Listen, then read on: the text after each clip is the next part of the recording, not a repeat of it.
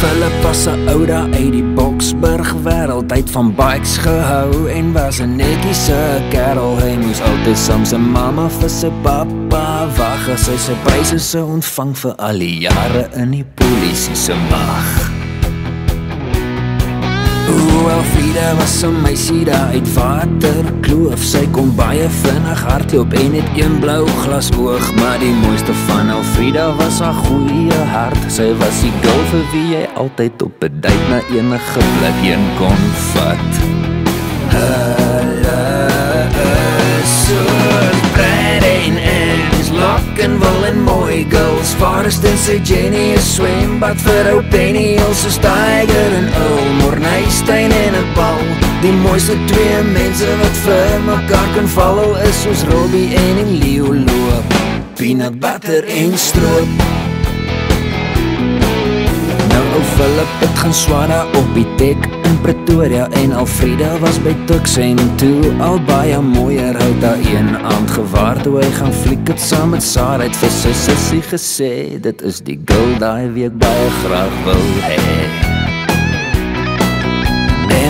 hê En Alfreda het hy selle aangedubbel Kyk, toe sy sien hoe hierdie mooi jong donker kop man vir haar kyk Sy het gevlei gevoel en sy was daar saam met Rahul. Sy het vir haar boetie gesê, dit is die ou daai wie ek baie graag wil hee Hulle is so pretty and lock and roll and mooi girls. Forest en sy Jenny is swembad vir ou Penny Ons is Tiger en Earl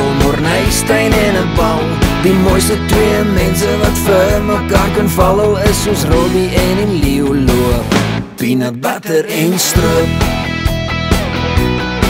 Wel, ou Philip en ou Frida bly nou al vier jare saam. Elke aand hier om half sewe kyk hulle sewende laan. En die kinders is al groot en heeltemal normaal. Huls en Ben word elke dag na skool met die KLR 650 gehaal